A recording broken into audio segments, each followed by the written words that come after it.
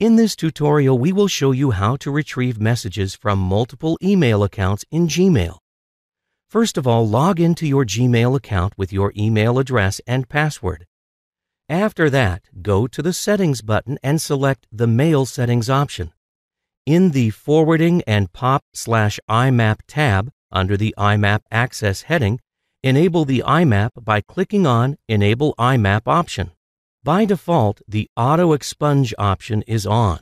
This feature comes into play whenever you delete a message which is in your inbox or in a folder while using a client like Outlook or Thunderbird. The Auto Expunge option automatically archives the message in Gmail. So, in order to change how it works, turn it off by selecting Auto Expunge Off. You can change the settings so that the message is removed permanently by selecting the Immediately Delete the Message Forever option.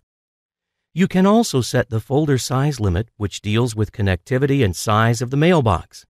If your client has limited size, you can manage the number of mails that will be displayed there.